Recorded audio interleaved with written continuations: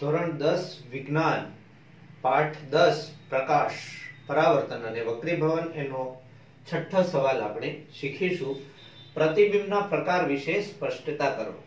તો વિદ્યાર્થી મિત્રો, પ્રતિબિંબ એટલે શું? કોઈ પણ વસ્તુ હોય, જેમ કે અહીંયા એક વસ્તુ મૂકેલી છે અને અંતર્ગોળ અરીસો છે, તો એ અરીસાની સામે જ્યારે વસ્તુ આપણે મૂકીએ ત્યારે એનું પ્રતિબિંબ પડે.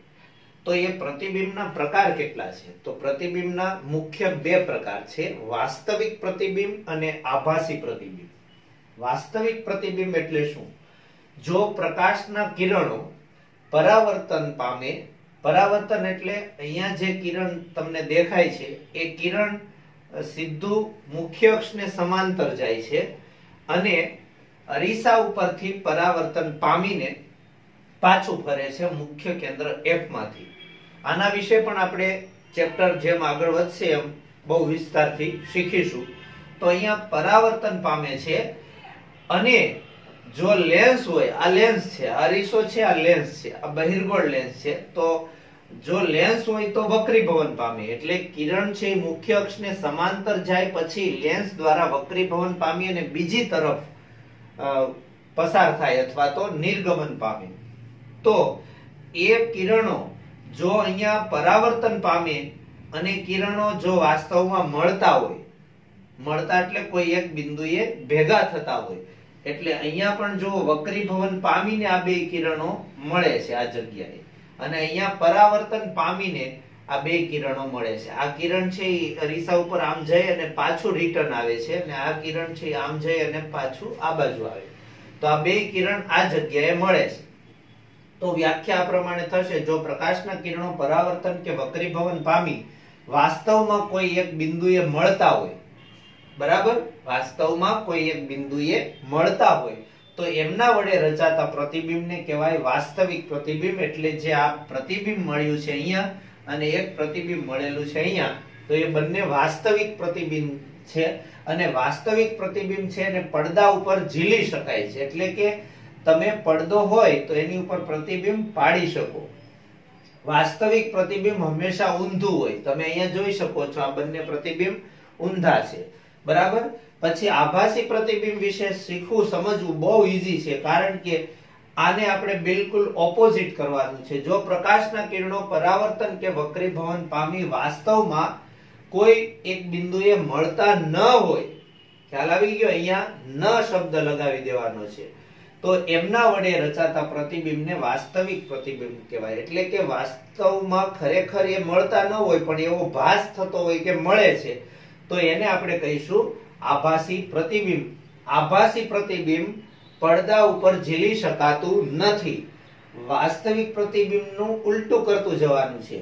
આભાસી પ્રતિબિંબ હંમેશા ચત્તું હોય છે. અહીંયા ઉલટું કરી દીધું છે, ઊંધું એટલે ઉલટું. તો એનું ચત્તુ હવે એ આપણે અહીંયા જોઈએ આકૃતિમાં. જો આ દેખાય છે, એ બહિર્ગોળ અરીસો છે. તો અહીંયા વસ્તુ મૂકેલી છે. તો આ કિરણ તમે જુઓ, આમ જાય છે. પછી ખરેખર એને અહીંયા મળવાનું હોય, પણ ત્યાં મળતું નથી. પણ એના બદલે એ ખરેખર ઓપોઝિટ ડાયરેક્શનમાં પાછું આવી જાય છે. તો એ પાછળ જો એને લંબાવવામાં આવે આ જગ્યાએ અને આ કિરણ છે એને બીજા વક્રતા કેન્દ્ર સુધી લંબાવવામાં આવે. તો લેન્સ, સોરી, આ અરીસો છે એની પાછળની તરફ પ્રતિબિંબ મળે છે. તમે જોઈ શકો છો. પણ એ પ્રતિબિંબ કેવું મળે છે? ચત્તુ મળે છે. તો હંમેશા કેવું મળે? ચત્તુ. પણ શેમાં? આભાસી પ્રતિબિંબ. આભાસી પ્રતિબિંબ જો અહીંયા પણ તમે જોઈ શકો છો, આ બે કિરણો મળતા હોય એવો ભાસ થાય છે. આ છે અંતર્ગોળ લેન્સ. તો અહીંયા પ્રતિબિંબ કેવું મળે છે? ચત્તુ મળે છે.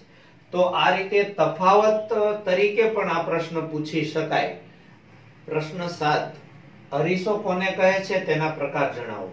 લીસી અને ચળકતી સપાટી જે તેના ઉપર પડતા લગભગ બધા પ્રકાશનું પરાવર્તન કરે છે તેને કહેવાય છે અરીસો. એટલે કોઈ પણ લીસી સપાટી હોય આ સપાટી છે એકદમ લીસી હોય અથવા ચળકતી હોય અને એની ઉપર કોઈ પ્રકાશ પડે છે, તો એ બધા પ્રકાશનું, લગભગ બધા પ્રકાશનું પરાવર્તન કરી દે છે, તેને કહેવાય અરીસો. અને અરીસાના બે પ્રકાર છે. એક સમતલ અરીસા અને બીજું વક્ર અરીસા. વક્ર એટલે ગોલી અરીસા. હવે પ્રશ્ન આઠ છે, સમતલ અરીસો એટલે શું? સમતલ અરીસા દ્વારા રચાતા પ્રતિબિંબની ખાસિયતો અથવા તો એને લાક્ષણિકતાઓ પણ કહેવાય. તો એ જણાવો. જે અરીસાની પરાવર્તક સપાટી સમતલ હોય, એટલે કોઈ પણ અરીસો એવો હોય કે જેની સપાટી જે હોય, પરાવર્તક સપાટી, એ એકદમ સપાટ હોય, સમતલ હોય, લીસી હોય, તો એ અરીસાને કહેવાય સમતલ અરીસો. સમતલ અરીસા વડે રચાતા પ્રતિબિંબની ખાસિયતો. નંબર એક, સમતલ અરીસા વડે જે પ્રતિબિંબ રચાય છે, એ આભાસી અને ચત્તુ હોય છે. પહેલા તો ઘણા વિદ્યાર્થીને એ પણ ન ખબર હોય કે સમતલ અરીસો એટલે શું. તો વિદ્યાર્થી મિત્રો, સમતલ અરીસો એટલે આપણે જે માથું ઓળવાનો અરીસો છે, એ જ કહેવાય સમતલ અરીસો. તો સમતલ અરીસા વડે કેવું પ્રતિબિંબ રચાય? આભાસી અને ચત્તુ પ્રતિબિંબ.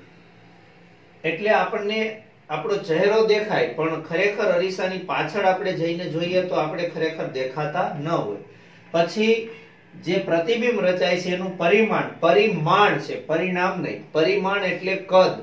તો એ હંમેશા વસ્તુના પરિમાણ જેટલું હોય, એટલે જેવડી વસ્તુ હોય, એવડું જ પ્રતિબિંબ અરીસામાં દેખાતું હોય. ત્યારબાદ વસ્તુ અંતર અને પ્રતિબિંબ અંતર સરખું હોય, એટલે કે અરીસાની સામે કોઈ વસ્તુને આપણે આમ મૂકી અથવા આપણે આપણી જાતને અરીસાની અંદર જોઈએ ત્યારે આપણું અરીસાથી જે અંતર હોય, એટલું અંતર આપણા પ્રતિબિંબનું અરીસાની પાછળ પડતું હોય. એટલે આ એ મુદ્દો છે. ત્યાર પછી વસ્તુના પ્રતિબિંબની બાજુઓ ઉલટાયેલી હોય છે. એટલે આપણે જ્યારે અરીસામાં જોઈએ આપણી જાતને ત્યારે આપણે આપણો જમણો હાથ ઊંચો કરીએ, ત્યારે અરીસામાં પ્રતિબિંબ છે એ ડાબો હાથ ઊંચો કરે. ખ્યાલ આવી ગયો તમને? તો આ રીતે આ ચાર એની ખાસિયતો છે. તો પ્રશ્ન છ, સાત, આઠ. આપણે એકદમ સરળ રીતે અને સચિત્ર અને રંગીન અક્ષરોથી શીખ્યા. અને તમે શાંતિથી એકદમ એકાગ્રતાથી વિડીયોને નિહાળ્યો. એ બદલ આપનો ખૂબ ખૂબ આભાર. Thank you very much